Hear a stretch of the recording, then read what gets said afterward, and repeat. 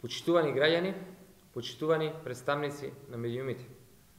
СДСМ и пратеничката група целосно застануваат зад манифестот на лидерите на политички партии застапени во собранието, а во врска со водењето преговори за полноправно членство во Европската Унија.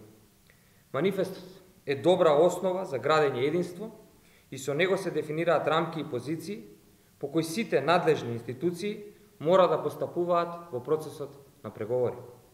Овој манифест е во рамките на црвените линии и заклучоците по европскиот предлог што ги усвои парламентарното мнозинство овде во собранието и со него сите лидери на политички партии се обврзуваат дека ќе настојуваат пристапните преговори да завршат во најкраток можен рок, а при тоа целосно заштитувајќи го идентитетот, традицијата, јазикот и обштествените вредности на граѓаните.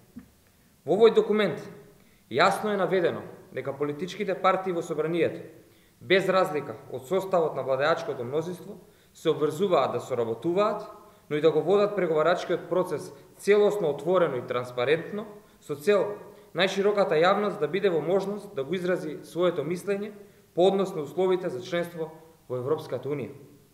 Сега е потребно обединување околу овој манифест, со кој сите заеднички ќе се обврземе за ефикасно водење на преговорите за пристапување во Европската Унија.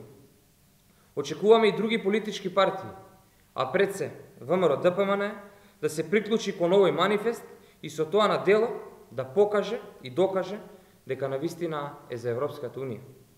Можностите за Христијан Мицковски да се приклучи на Европскиот блок стануваат се поредки и ако тој не ја искористи оваа шанса, ќе покаже дека сето она што го говори за европската иднина е само обично блефирање пред јавноста.